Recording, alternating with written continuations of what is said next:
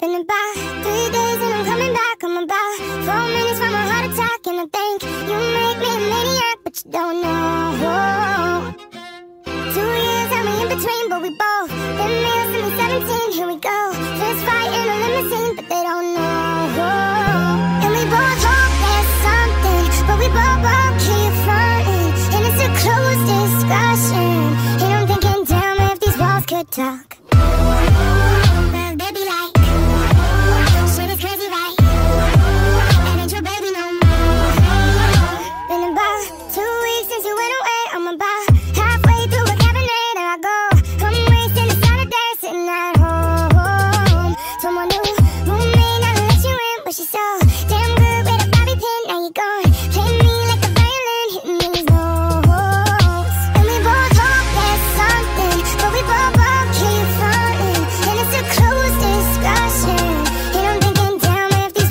talk.